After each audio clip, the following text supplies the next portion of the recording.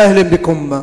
قضت غرفة الجنايات الابتدائية بمحكمة الاستئناف بورزازات شهر يوليوز الماضي 2021 بالسجن عشر سنوات نافذة في حق ضابط سام برتبة رائد بالحامية العسكرية بنفس المدينة بعد إدانته بتهمة اغتصاب ابنته.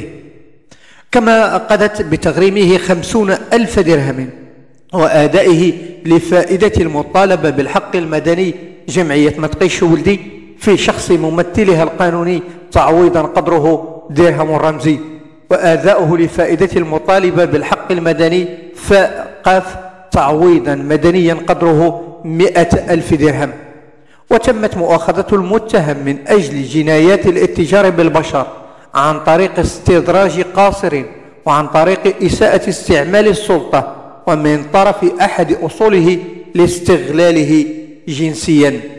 وهتك عرض قاصر باستعمال العنف من طرف أحد الأصول.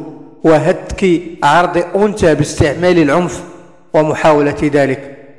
وتعليقا على هذه القضية قالت منظمة متقش ولدي إنها جريمة بشعة لأب رمت به الشهوات في أتون الخطيئة.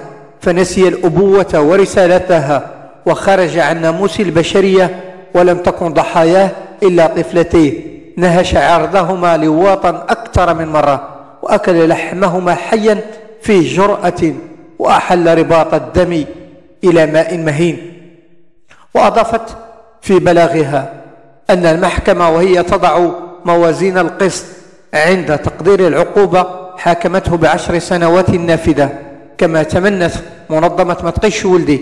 ومعها الضحايا لو أن نص العقاب أسعف القضاء لتكون العقوبة بمقدار الجرم لتجتث من تربة المجتمع. وترابه عضوا سرطانيا فاسدا لا خير فيه. وعبرت المنظمة عن أملها فأن تكون جلسات الاستئناف أكثر إنصافا وعدلا.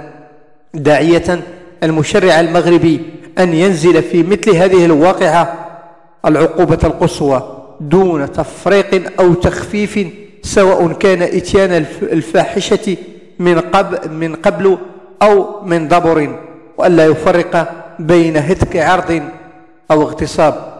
وشددت على أن الاعتداء على طفل جنسيا كيفما كان جنسه يعتبر جناية لا تسامح فيها ولا تخفيف لأنه جرم يندى من وقاحته جبين الحياء ومن يرتكبه لا يستحق الحياة.